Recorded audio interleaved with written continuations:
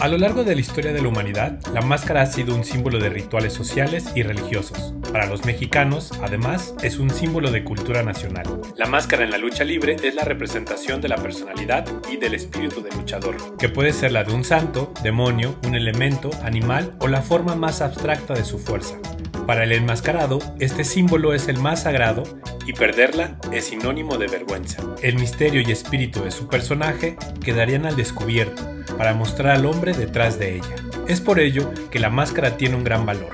Pocas veces en su vida un luchador apostará su máscara, y solamente lo hará para buscar la gloria.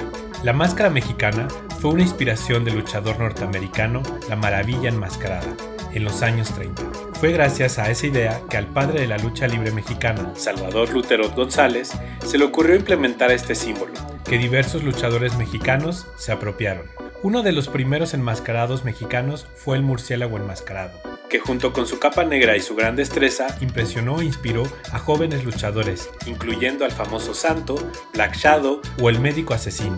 Desde ese momento, la máscara empezó a tener una apropiación más cercana con nuestra identidad prehispánica, en la que los guerreros usaban máscaras en sus combates. Así es como nuestro folclore, alimentándose de los colores, símbolos, grecas y textiles elaborados por artesanos mexicanos, que por generaciones han pasado sus secretos y habilidades en la creación de esta tradición.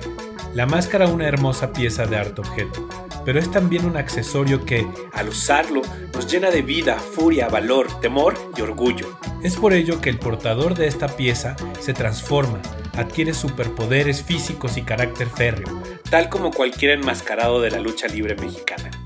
La fascinación que causa la máscara provoca que sea uno de los regalos más significativos que un mexicano puede dar a alguien de otro país, o bien uno de los souvenirs más buscados por el extranjero que viene a México.